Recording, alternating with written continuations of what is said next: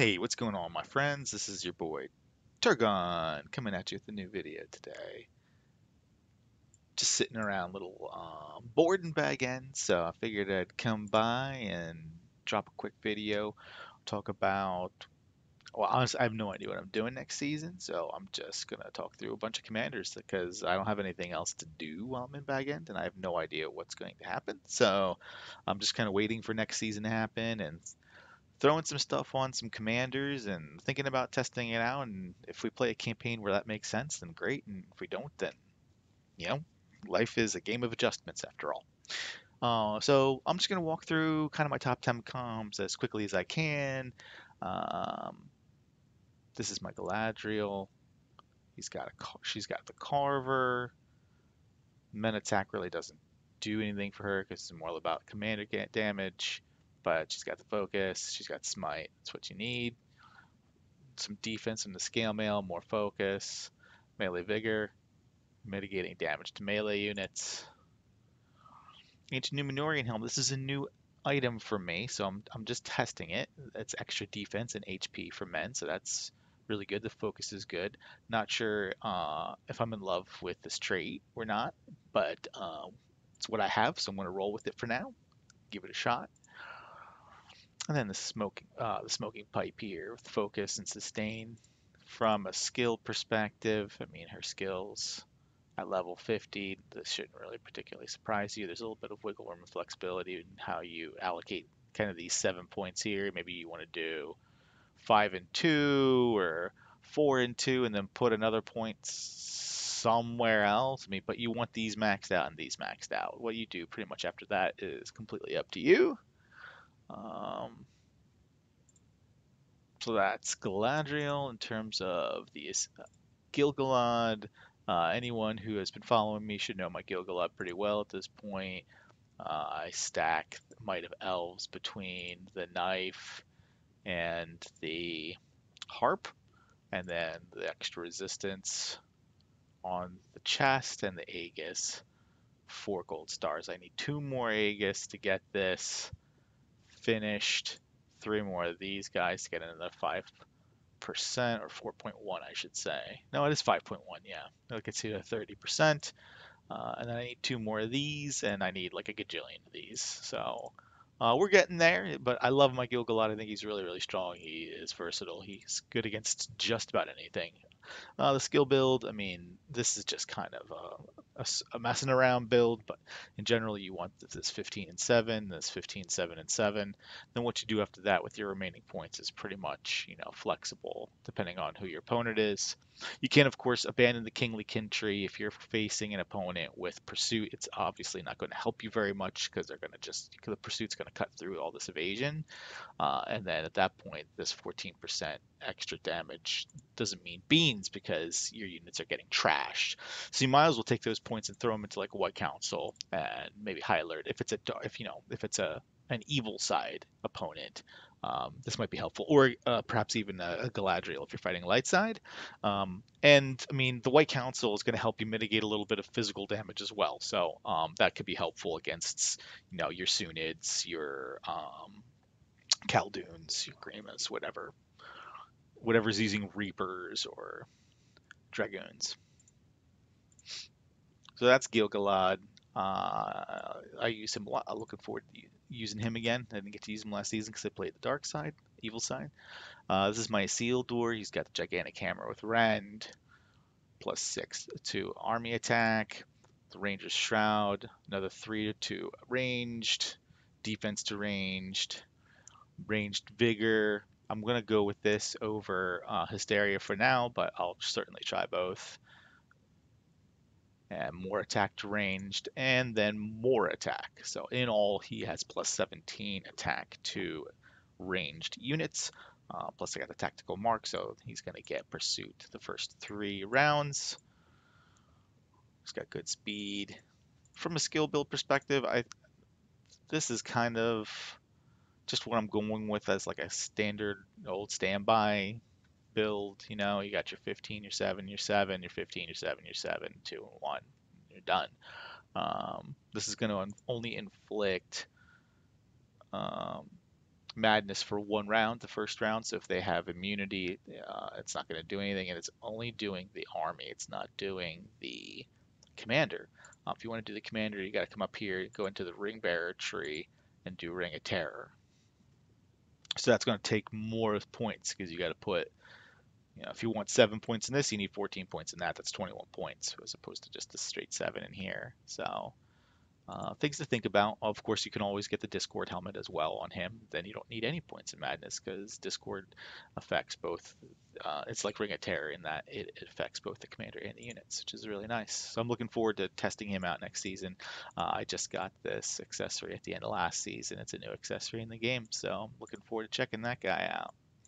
My A2, this is a knight build. However, um, yeah, I actually did switch all the traits over. I forgot I did that. So he currently is set up to mitigate uh, 110% damage, and I've heard that there's a cap at 90%. So he is at that, so not a big deal um, that I don't have the fifth gold star in here. Uh, at some point, I'll put the fifth star in here just to get the extra stats, which will be nice. I have another one of these. It's on my Theoden.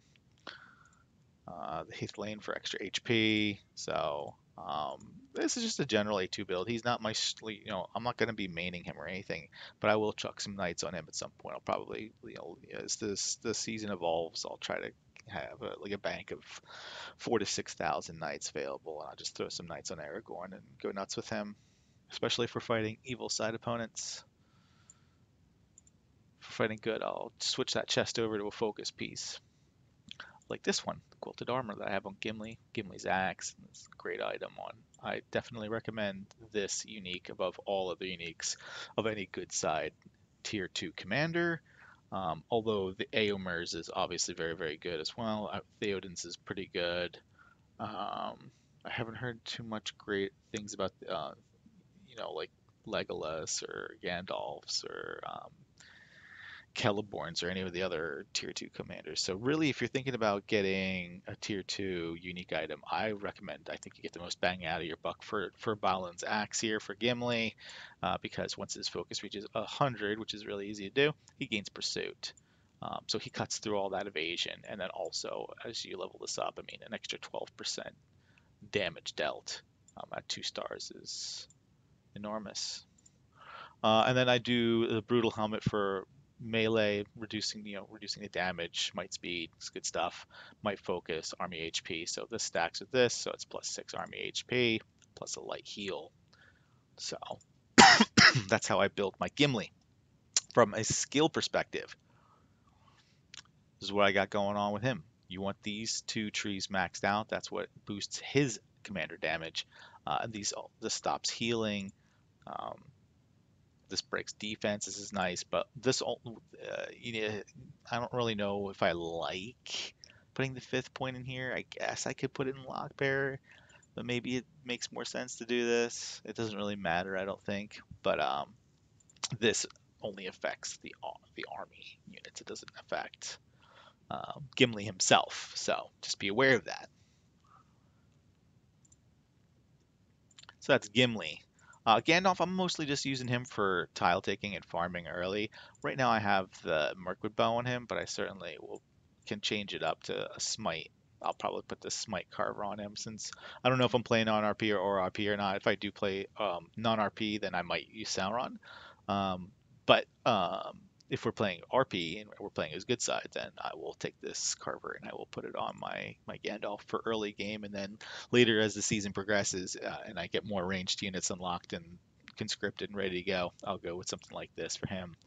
Uh, the guard is good, the range is good, hunter skin, and then bone mask, hysteria, army HP, very good, and then I give him hunter's mark pursuit, um, harp with focus. It's you know, it's just not, it's Gandalf. I'm not using him for PvP really at all. So uh, I'm just kind of throwing what I can throw on him that to give him um, as many strengths as I can really. From a skill build perspective, you know, the two one, uh, the two one here. This is up to seven. I just chucked my extra points in there. You want this filled out? You want this filled out? Pretty standard, pretty pretty basic. Nothing uh, that should be earth shattering um, to any tenured good side player that plays this game. Uh, one of the new things I'm going to be checking out next season is Theoden. I just finally maxed out my Cutlass last season. Uh, I played Evil last season, so I was using this on my Witch King, so now I'm putting it on my Theoden. Uh, melee Vigor on the Spear Halberd, I can switch this over to Fire Protection if I need to. I have an extra one.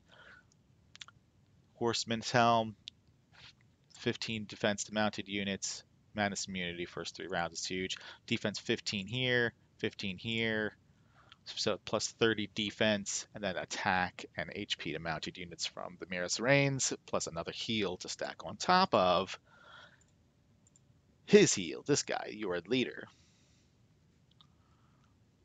So this is pretty much a standard Theoden build. You want to max Rohirrim for the damage.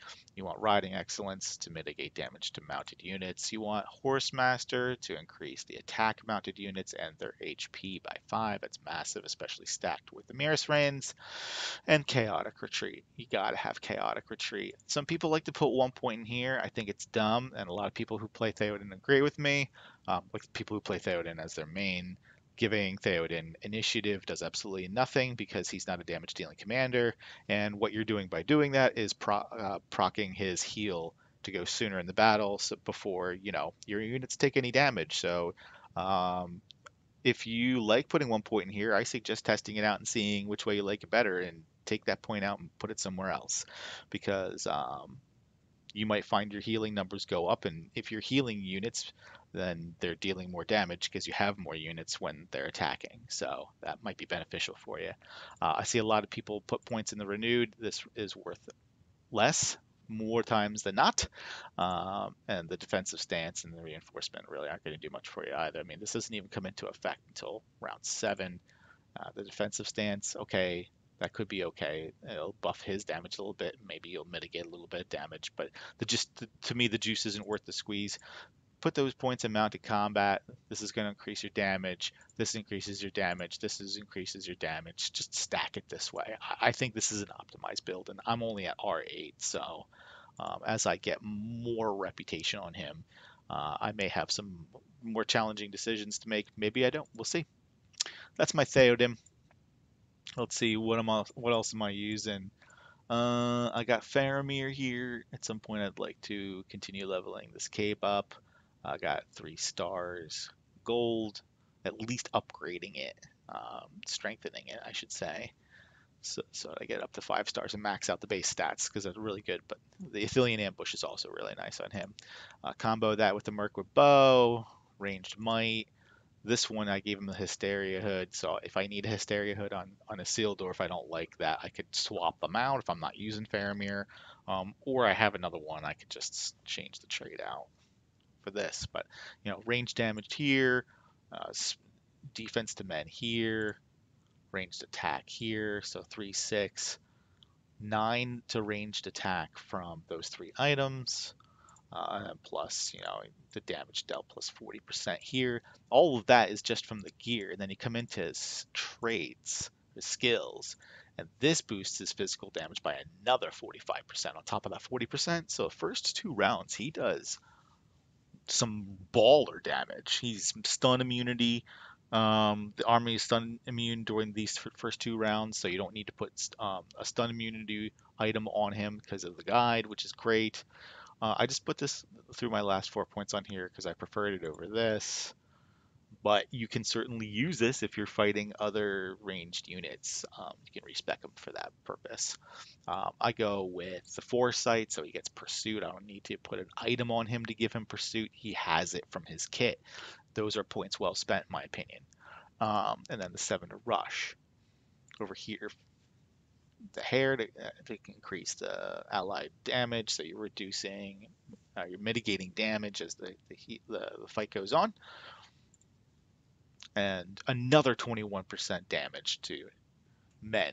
So if you add the 21% to the 40%, 61%, and then during the first two rounds with a guide, um, another 45%, so 45 plus 61, that's 106% increased damage between um, the gear and the skills during the first two rounds of the fight. So it's pretty significant. Um, I haven't used him extensively or tested this build extensively, so that might be something that I'm looking to do next season, depending on what faction I'm playing. Uh, another uh, commander that I have geared up here is Dwalin, uh, kind of similar to Gandalf. I don't plan on using him for PvP really at all, just because um, I prefer to use all my dwarf units on Gimli. Gimli is my PvP uh, dwarf commander. Uh, I don't want to cut. If I have 10,000 guardians, I can use 5,000 guardians on Gimli twice. Why would I want to waste 5,000 guardians on a weaker commander to my Gimli like Dwalin? Uh, so I could kill my my dwarves much faster by splitting those forces up that way. So I'm going to just use him for PvP, kind of uh, PvE, I should say, early in the season. And at some point, once I get farmed up and start farming up my other commanders, he'll drop off, and I'll just stop using him altogether. But this is what I got on him. He looks pretty nice. Um, for newer players, I think they, they would be like, really? You're not going to use that at all? defense dwarves, and then the shatter. Uh, you got the scale mail, more defense, melee vigor, hysteria on the bone mask, so he's causing madness every two rounds. HP to your troops, my focus. And then the drums of Moria. I put Bane of Dwarves on here, so if it's a weird season and I'm fighting Erebor for some reason or another, or I find an enemy with that's running dwarves, he could be pretty nasty in that scenario. That might be a scenario where I run my my Dwalin over my Gimli, but um, I think that's a very niche scenario. So uh, I, I don't plan on that. And also, I could change the swap the, the trade out for a different a different trade if need be. Um, from a skill perspective, so I have him set up for, this is kind of a PvP build right now. Uh, it's a damage mitigation. For PvE, I would go with musician skills here. I'd probably take all these points out and dump them all up here. I tend to go with just the R0 for, for PvE mode, but maybe this is a better way to go just take these points out and dump them in here. That could be a better way to go. And I could keep the warrior, which is actually really nice. Reducing the, the physical damage of the army by 15% is significant, and the negative 50% bird damage is um, is also definitely nice in a number of scenarios. So um, take a look at that. We'll go from there. I have Eowyn geared here right now, just with some leftovers. Um, you know, Bane mounted units, hilarious. So if I send her to fight other like cavalry units, um, she could be pretty nasty. I was using this actually on Armored Sauron last season. So uh, I could change the trait if need be.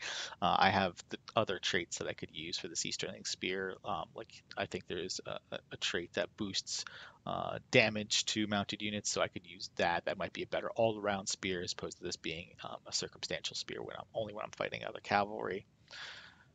Uh, and then I gave her the quilted armor with focus protection. If I needed to put this on another hero in a pinch, um, I would just rip it off of her because I don't plan on using her. I plan on using Theoden, similar to what I was talking about earlier, where I would primarily use Gimli instead of and not use Dwalin. So I'm maintaining my um, dwarven area of the barracks. I would use Theoden over Eowyn um, pretty much 100% of the time so that I'm not burning through all my cavalry super fast either. But if I needed to use her, I have her set up. She's got mounted vigor on this. I could switch it over to um, madness protection if I need, and then I just threw the orb, the palantir of Orthanc on her. Uh, I might burn this. I don't know. I kind of want to save it in case I get the one with um, pursuit, the tactical mark one. Um, so then I could put a star in it pretty much right away. But same time, I also would love to finish off this guy, or even potentially start working on this blitz fiddle, which could be nasty.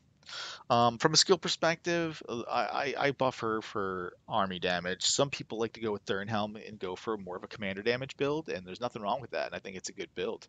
Um, but there are some times where one works better than the other. And like I said, I don't really use her, so I'm not really concerned about what I'm doing skill build wise, but just kind of going through the, the process of explaining why I have her the way that I have her. Um, similar to Theoden, you need the Rohirrim and the Riding Excellence, the White Lady of Rohan this gives her a heal and then stun immunity. Stun immunity period. She's just immune to stun all all ten rounds, not the first two rounds, which is kind of nice. Frontline rescue, big heal round three and then an ability to boost damage to men units and more. Uh, and then Shield Maiden here, I don't know. I did 12 and 6. I think that's stupid. Um, probably take this point out of attack vitals. Take three points out of here, make this 15, make this 4. That's probably a smarter way to go. The defensive stance is going to help her mitigate some damage, as Shield Maiden will as well. Uh, extra 15 to focus is also going to probably be more effective than whatever it is that I have going on here right now. But I just kind of you know, it, it's kind of these are kind of mock builds, so I'm not really like super critical of them. And she's my 10th commander. She's the last one I'm going to show you today. So if you hung in, uh, in there to watch the entirety of this video, I appreciate it. Uh, if you have any comments, feedback, suggestions, please feel free to leave it in the comment section below. I wish you good luck in your next season of Lord of the Rings Rise to War and wish you all well. Take care. Cheers.